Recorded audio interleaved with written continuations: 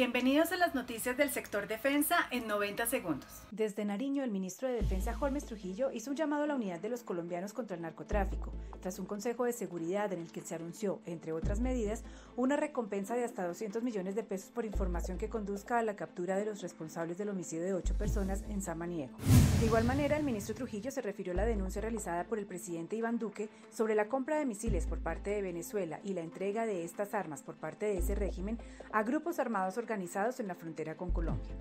En el Pacífico colombiano, unidades de la Armada Nacional propinaron un fuerte golpe a las finanzas de organizaciones transnacionales delincuenciales con la detección de un semisumergible cargado de 843 kilogramos de clorhidrato de cocaína. El buque Escuela Gloria regresó a Cartagena luego de haber navegado 20 días en aguas del Mar Caribe, garantizando la soberanía e integridad del territorio colombiano y reafirmando la vocación por el mar de 77 alumnos, entre ellos 23 cadetes de la Escuela Almirante Padilla, quienes realizaron su primer crucero de entrenamiento. El viceministro de Defensa Jairo García, participó en reuniones de seguridad en Cali y en Caloto para hacer seguimiento a la situación de orden público en esta región del país. Y en Mutatá, Antioquia, en una operación conjunta de las fuerzas militares y la Policía Nacional, en coordinación con la Fiscalía, fue neutralizado alias Pueblo, principal cabecilla de la subestructura Carlos Vázquez del Clan del Golfo.